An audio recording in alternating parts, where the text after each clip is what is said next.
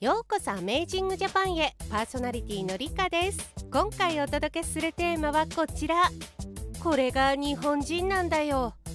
世界中のメディアが日本の凄さを痛感。日本人の民度が一目でわかる。1枚の写真に海外大絶賛。2017年にメキシコを襲った巨大地震を皆さんはご存知ですか？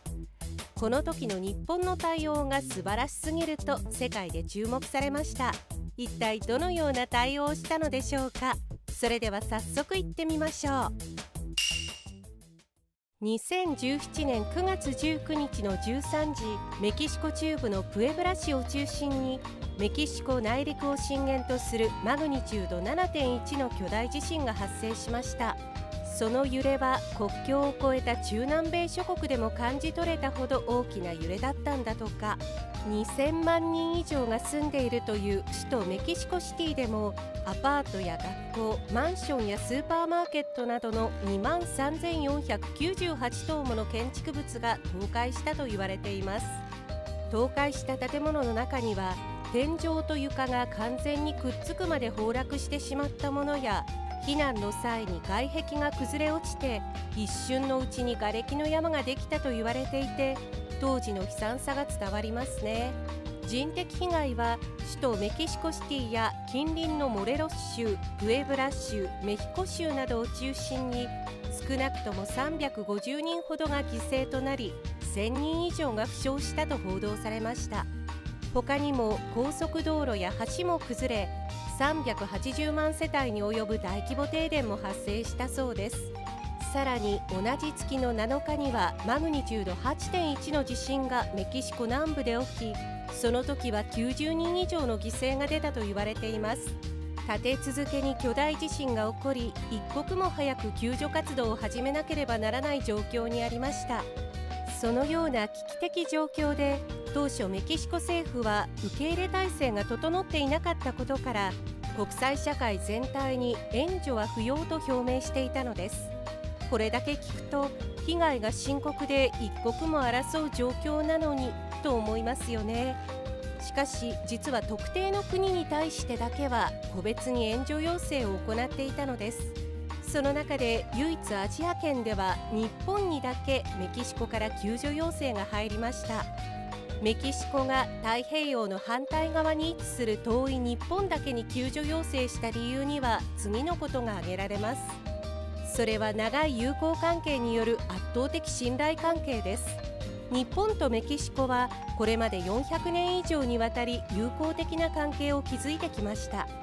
特に明治政府発足から20年後である1888年に締結された修好通商公開条約といったメキシコとの平等条約を結んだ後他に類を見ない規模とスピードで絆の進化を遂げたと言われています。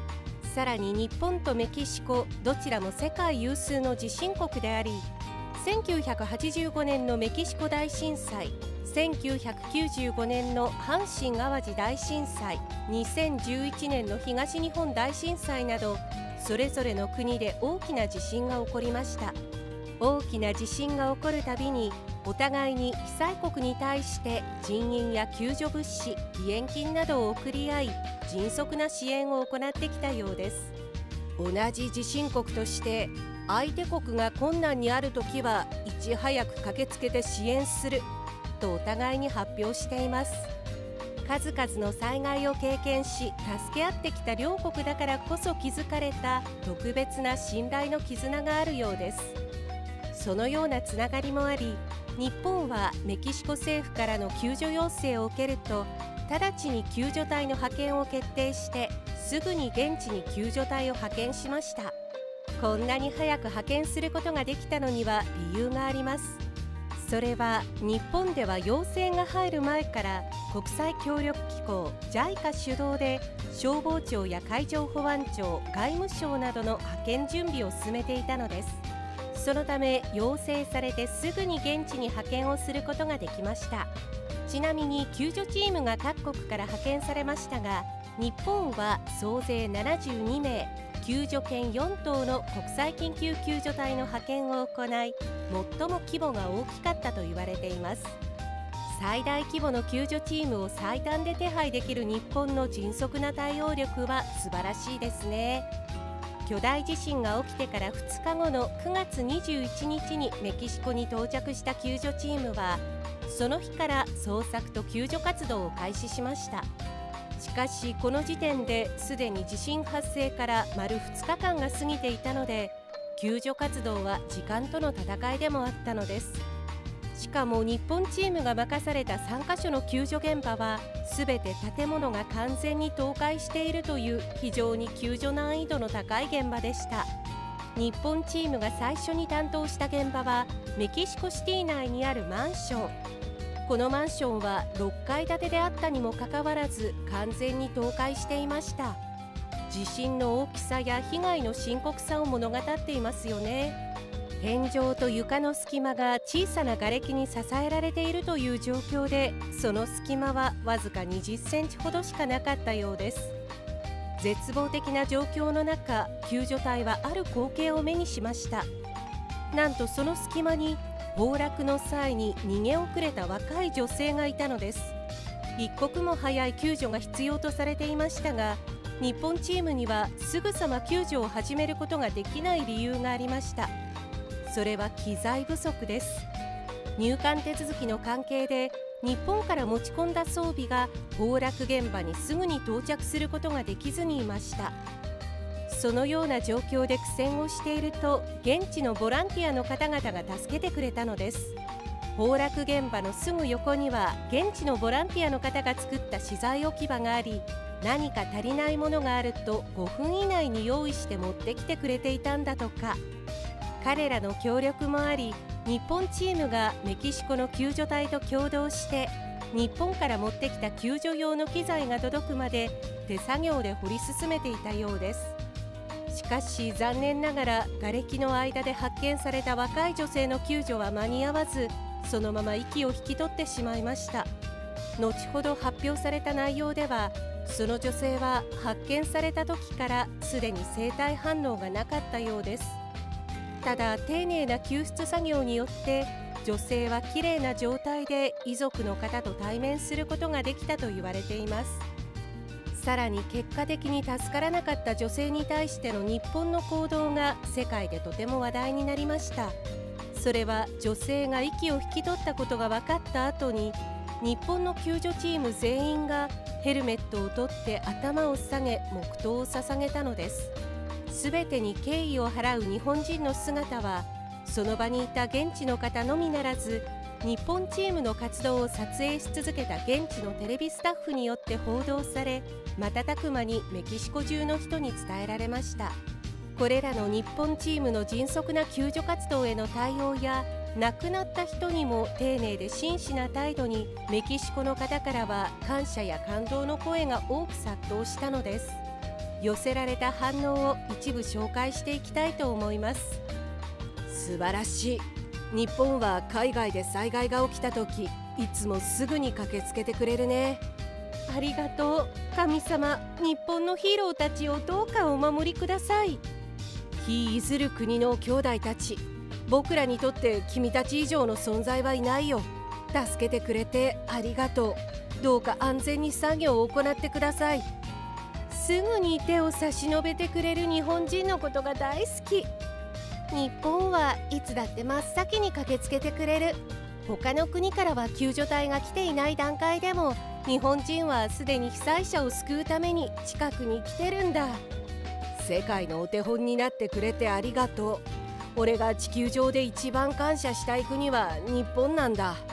なんて美しい生命に対する敬意の表し方なんだろう。どうか日本に神様の祝福がありますように。日本人の文化レベルを如実に表している光景だね。これでこそ教養であり礼儀であり自尊心ってもんだ。どこの国の救助隊もこれを見本にしてほしいとガチで思うわ日本人は文化的で高いモラルを持った人たちだ。ありがとう日本。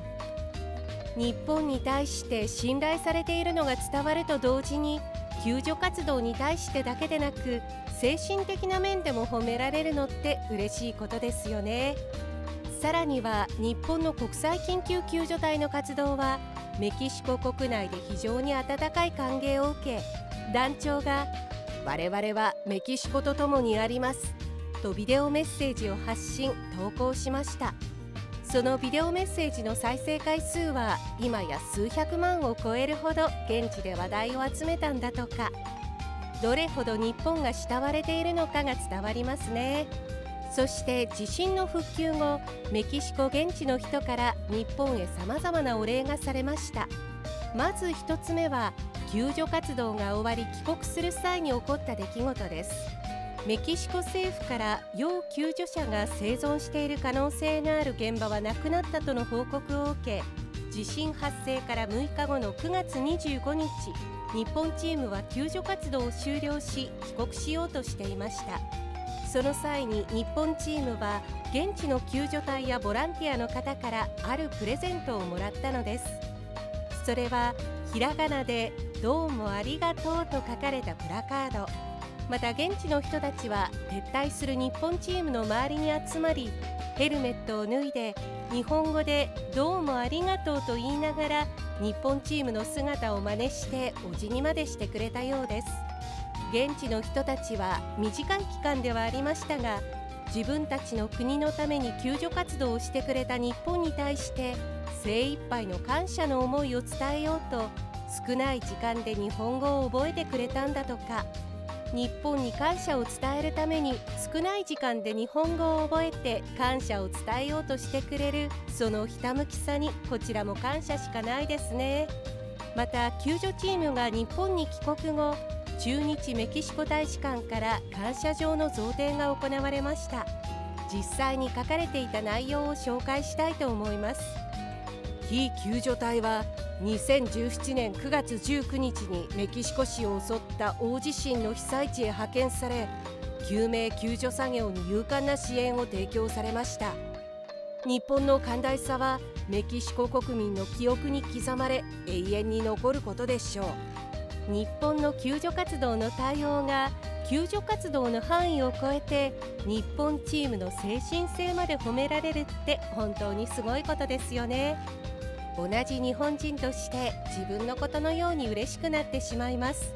これからも日本には対応の迅速さと誠実さでいろいろなところで活躍していってほしいですね。よかったらコメント欄で皆さんの意見や感想も聞かせてくださいね。最後までご視聴いただきありがとうございました。動画を見て面白かったと思ったら是非高評価チャンネル登録もお願いします。それではまた次回の動画でお会いしましょう。